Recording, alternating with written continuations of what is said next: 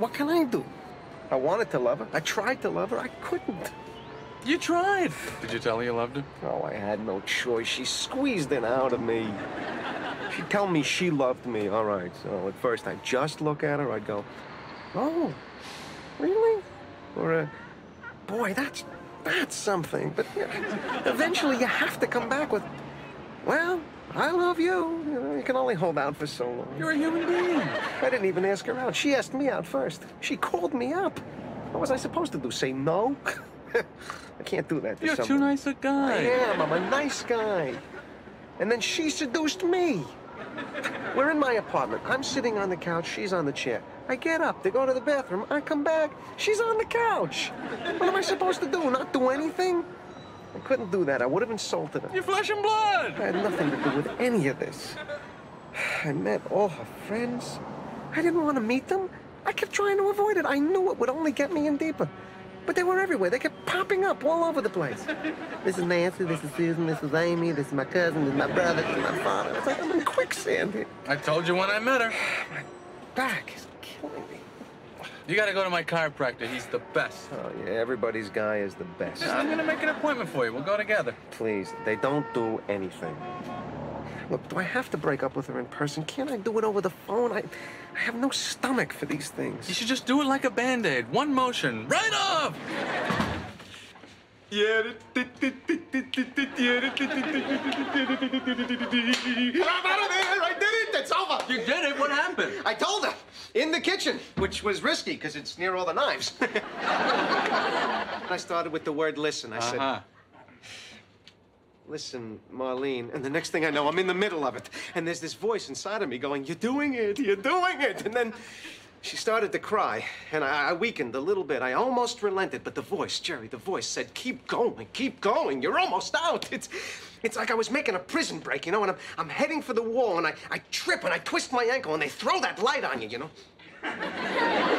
So somehow I get through the crying and I keep running. Then the cursing started. She's firing at me from the guard towers. Son of a bang! Son of a boom! I get to the top of the wall, the front door. I open it up. I'm one foot away. I take one last look around the penitentiary, and I jumped. See? Never as bad as you imagine. I like that, Marlene. What's your number? Yeah, no, I, I don't think so. So that's it? Yeah. You're out. Except for one small problem. I, uh, I left some books in her apartment. So? Go get them.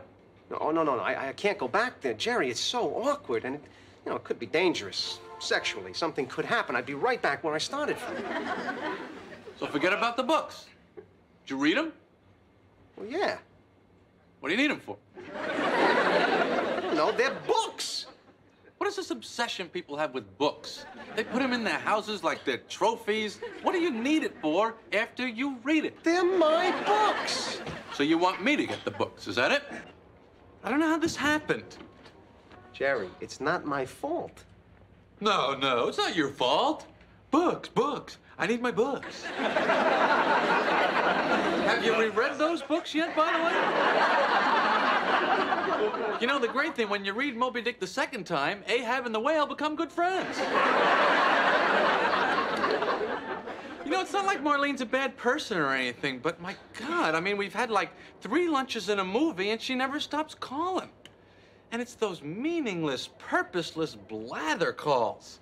She never asks if I'm busy or anything. I just pick up the phone and she's in the middle of a sentence. It's standard. Has she left you one of those messages where she uses up the whole machine? Oh, it's some, you know, sometimes she'll go, "Hello, Jerry," and I'll go, "Oh, hi, Marlene," and then it's Jerry. I don't know. No, sometimes. What about trying to get off the phone? Oh, you can't. It's impossible. There's no break in the conversation where you can go. All right then. You know, it just goes on and on and on without a break in the wall. I mean, I, I gotta put a stop to this. Just do it like a band-aid.